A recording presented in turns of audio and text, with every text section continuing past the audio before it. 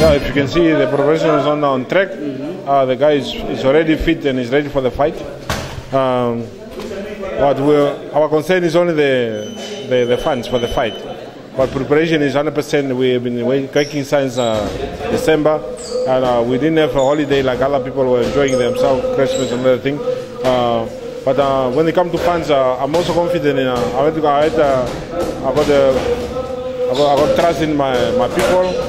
We are we got uh, we are very confident in our in our government and of course the business people. And uh, the response still so far. Uh, what we've seen is in, uh, in the public, people are happy about this fight. They're excited. But now the only thing is we want to get the money in the bank. So because the fight is already signed to take part in take place in Namibia.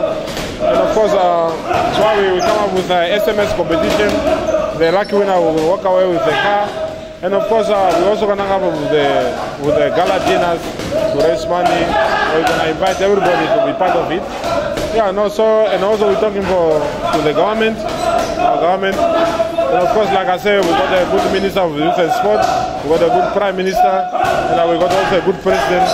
All these people, they got uh, the interest of this country at the heart, you know. So with their support, I'm sure everybody, everything will be possible. So thank you for speaking to Nampa News. Uh, you are preparing for a championship. How's it going?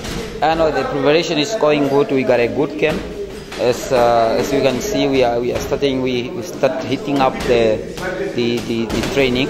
So I'm already in the training camp, and uh, since I started last year with the, with my training, so far the preparation is going good.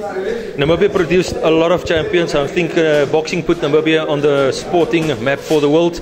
Your predictions for your bout on the way? Yeah, that's that's that's the real things which I wanted since uh, day one when I started boxing.